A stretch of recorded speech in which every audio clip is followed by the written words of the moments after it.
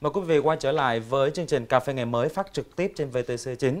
Thông qua đường dây nóng cũng như à, thư điện tử của chương trình, chúng tôi trong thời gian qua đã nhận được phản ánh của rất nhiều khán giả. Trong đó có khán giả sống tại quận Bắc Từ Liêm, thành phố Hà Nội cho biết hiện nay thực trạng tại tuyến đường Hồ Tùng Mậu tái diễn người dân bán hàng rong, nguy cơ mất an toàn giao thông qua khu vực này.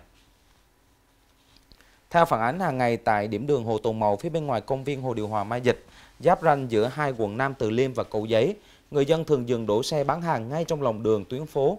Việc người dân dừng đổ xe mua bán các mặt hàng như hoa quả, cây cảnh khiến cho nhiều người tham gia giao thông tại khu vực này lo lắng vì tình trạng mất an toàn giao thông.